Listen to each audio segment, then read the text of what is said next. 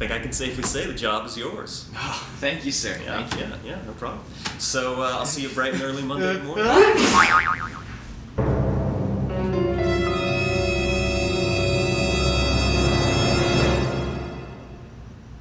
Give me this job or I will f***ing stab you.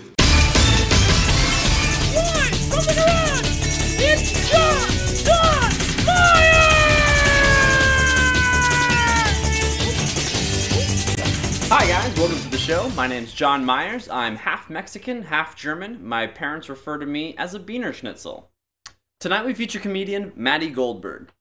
But first, we talked to Kandis via Skype at the Democratic National Convention. How's it looking over there, Kandis? Well, we got kicked out. Thanks, Kandis. Now we recap the week in less than one minute with our weekly segment we call the Weekly Weekly.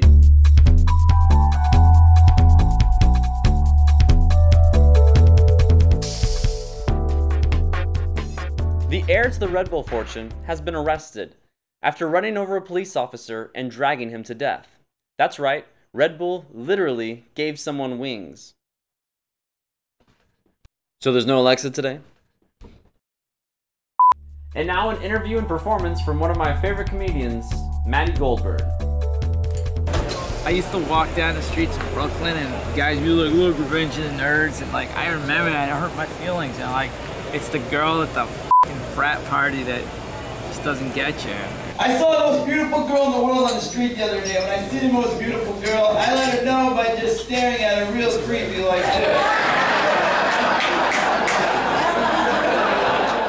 A guy like me who's never really felt like he was cool, it's like this validation, like that you're somebody, and like, wow, Pete, you can do something in this society. So Girls are into doggy style, which I can't do because I'm too short. There's nothing sexy about putting two phone books on the bed. Yeah,